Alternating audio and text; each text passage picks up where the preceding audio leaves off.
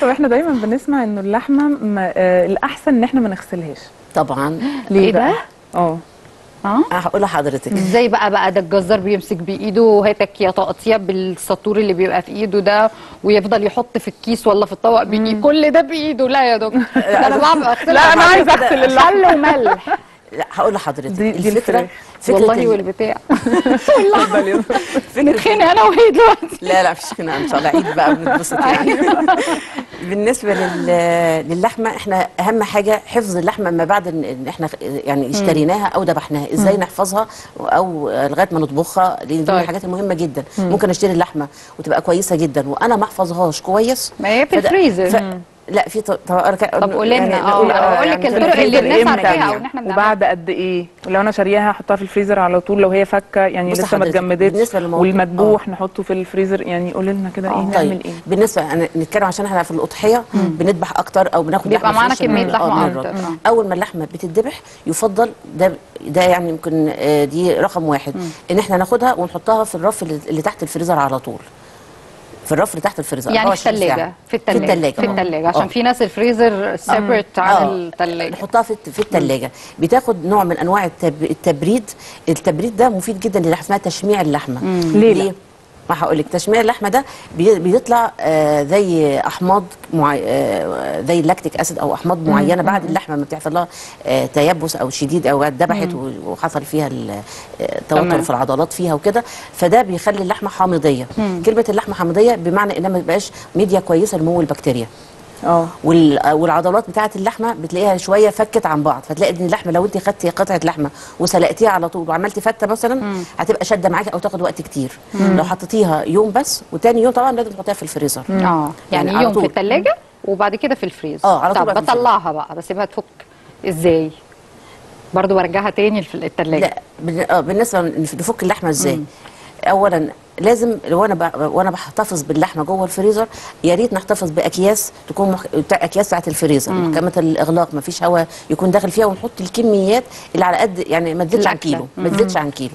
لأن لما بنكون بنكون لح- لحوم يعني اللحمه أكتر من الكيس ما بتاخدش التبريد الكفاية. أو بعد ما فتحنا ولقينا مش مش هاكل مش هطبخ كل ده نروح ناخده ونرجعه تاني. ما- ما ينفعش. إحنا بنحافظ على اللحمة. تسمم اللحمة أو لا قدر الله فسادها. مشكلة.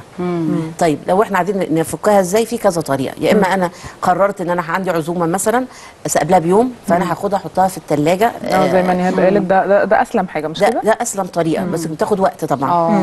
آه فكرة إن أنا أحطها وأحط عليها شوية مية سخنة طبعا آه غلط كبير. لأن أنا بعمل إيه بقى؟ بسخن الجزء الخارجي من اللحمة وهي من جوه لسه هي ط- طب أنا مطلعة اللحمة وجاهزة اللي هعملها للعيلة وكل حاجة وجوزي جه قال لي أختي جاية ومش ع- ما أنا بقول لحضرتك مين. جاي وكده نطلع. حالا أطلع لحمه زياده هتحطيها في كيس آه، هتحطيها في طبق مية آه، يكون فترة ساقعة يعني أو مش ساقعة فترة عادي من من الحنفية الحنفية. بتتغير كل 30 دقيقة كده آه، ت- تتغير لحد ما تفك. لغايه ما تفك وفي أفكار بقى ممكن تحطيها في الميكروويف طب آه تحطيها- بقى ال defrost آه والحاجات ممكن دي اللي تحطيها هو تحطيها على أقل. درجة لأن لو الحراره فيها عليت يعني مثلا لو حطيتيها على درجه عاليه شوية بنلاقي حتت هتبقى- منها بنلاقي. الجناب بتبتدي آه. تستوي فدي انت دخلتي حرارة عالية آه. على ال- على اللحمة حرارة عالية يعني. سريعة الانتشار فإحنا أحسن حاجة نحطها في مية ساقعة ونخلي عليها مية جارية لغاية. ما هي هي مع نفسها هتقوم تفك. آه، تفك تمام. دي اللحمة.